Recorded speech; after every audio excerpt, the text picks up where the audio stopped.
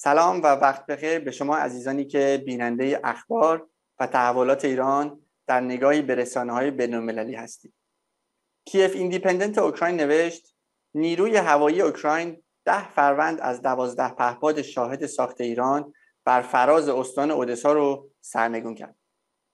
خبرگزاری رویترز طی گزارشی نوشت دادستانهای آمریکا روز سهشنبه یکی از سرمایه گذاران حزب لبنان رو به فرار از تحریم های آمریکا با صادرات صدها میلیون دلار الماس و آثار هنری متهم کردند. خبرگزاری فرانسه نوشت روز سهشنبه حکم رژیم ایران برای ده عامل در سرنگون کردن هواپیمای اوکراینی توسط کانادا و سایر کشورهایی که شهروندان اونها در این پرواز حضور داشتند مورد انتقاد قرار گرفت.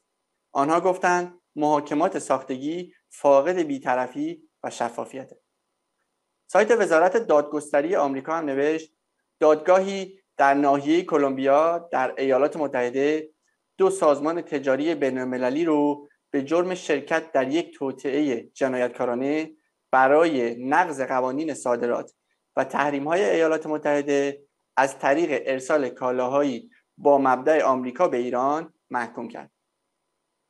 سایت تاون هال آمریکا با عنوان ملاهای ایران از ماه رمضان برای سرکوب مخالفان استفاده می کنند به قلم استران استیونسون نوشت استراتژی شلیک به قصد کشتن که منجر به کشته شدن بیش از 750 معترض و دستگیری بیش از سی هزار نفر شده است اعتراض بی سابقه ای رو از سوی جهان متمدن برانگیخته است.